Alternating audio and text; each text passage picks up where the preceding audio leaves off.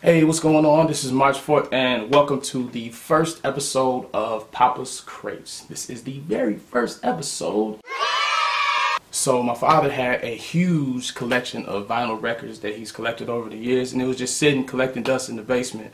So, as someone who's always producing music, he just let me go ahead and take all of those records. Nice. And as I listened to music, looking for a new uh, songs to sample, I started realizing some of these songs I've never heard before, and then also some of these songs or some of these uh, artists that he chose, I'm like, I just want to get his take on like why he chose that. Because he has so many different genres of music in his record collection.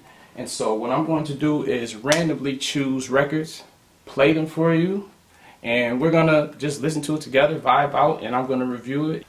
So today I went through a box of 45s that he had, and the problem is I didn't have the 45 adapter. So it kind of put me in a position to just grab whatever record, whatever 45 he had that didn't have the wide opening. So today we're going to look at Heath Levy. Nope.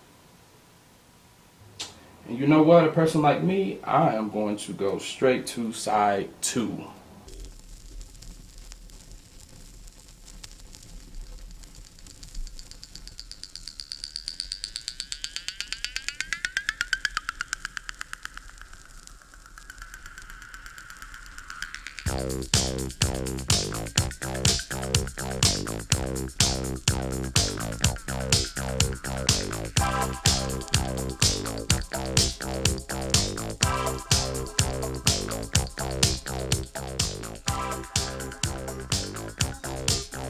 So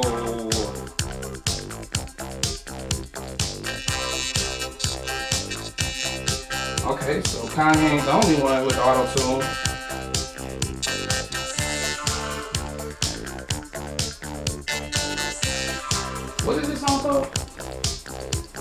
Too Hot to Handle. by Giorgio. Too Hot to Handle, okay.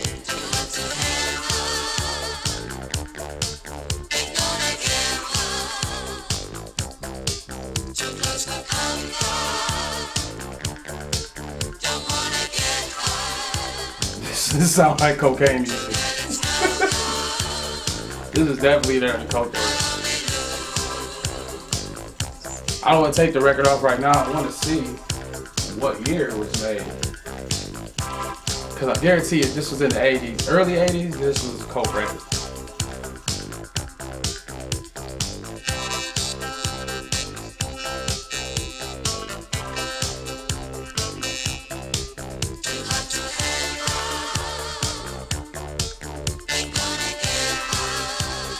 So it shows a lot of people been using that. Um, well, not the auto tune, but the uh, synthesizer.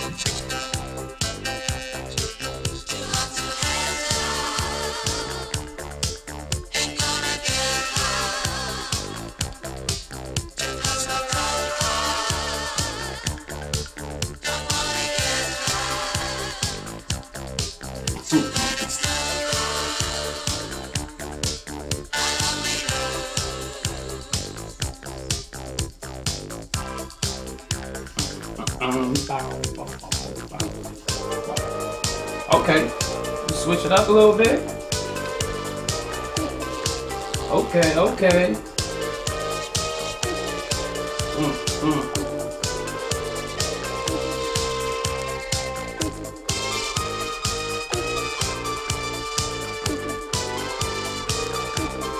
No, I'd have loved to have been in like, what's it called? Uh, Club 54? Area, Club 54? Is that what it's called?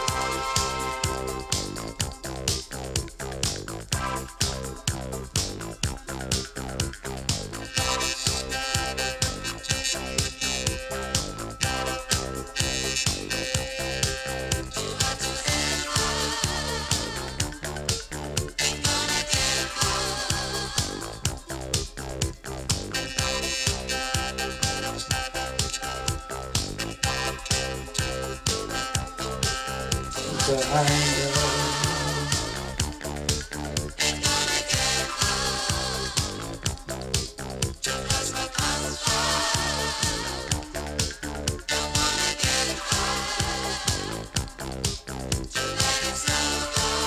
So what do y'all think about this record? If you've heard this record before, leave a like. Not a like, but if you've heard this record before, hey, leave it in the comments that, hey, I've heard this before. Because I've never heard this before.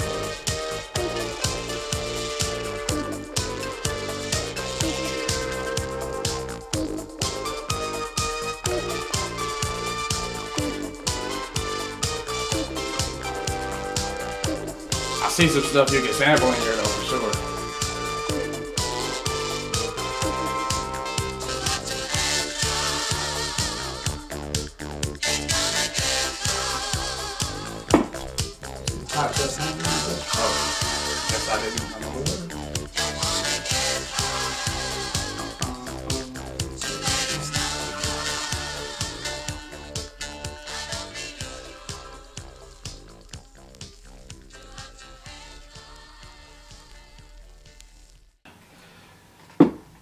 All right, so that was um, Oasis Records. It says "Too Hot to Handle." Giorgio, an original recording by Oasis Records, produced by Giorgio Moroder. So yeah, so that was "Too Hot to Handle." Um, and you know what? I am going to call my father and see what made him buy this record because the majority of his records are like soulful records and things like that, R&B records. He even got some gospel stuff, which is probably my mom's. But all right, so let's give him a call and see what, what the hell is up with this record. That shit is in my head now.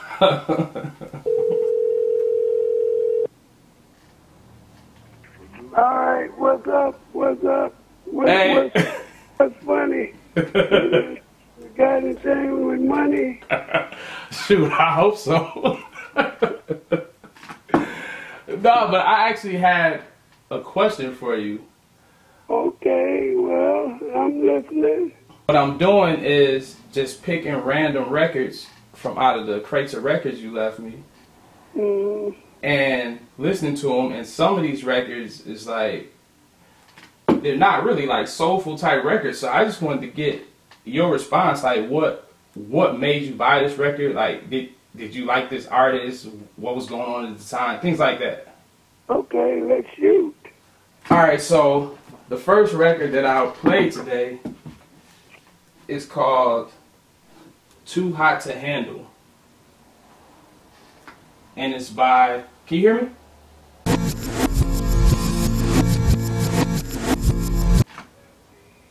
Oh, there you go. And you say the name of it is what? Okay, Heath Levy, and it's called Too Hot to Handle. I don't remember. I'd have to hear it to know. Okay, let me let me play something for you. All right, you hear that? Yeah, but I don't remember why. All I can say is probably was during the disco era. Right, right, right. That's what I was. And you know, just had a good beat to it. Right. Oh, okay. So, so one of the things I was asking was if it was during the disco era. It, it, personally, it sounds like a cocaine song. What? it sounds like cocaine music. So I was wondering. I don't know what that, what that sounds like. You know the cocaine disco era where everybody's just doing powder, and just having a good time. Yeah, but I don't, I don't equate it with that. Okay. Oh no. Oh, okay. I don't know where I got it from, or, or the history of it, or anything. Okay. Well, um, I was just calling to see, like, if if you did remember this record. So I guess you don't. Your, where your, your mother is What's the name of the song? It's called "Too Hot to Handle" by Heath too hot to Handle by. Heath Levy. Like, by, by, by, Is that too too hot to handle, handle, baby? You say what? Is that it? No, no, no. It's different because it has like You by Levy. yeah, the voices are uh, using that uh, what do you call it? The uh, synthesizer. Yeah.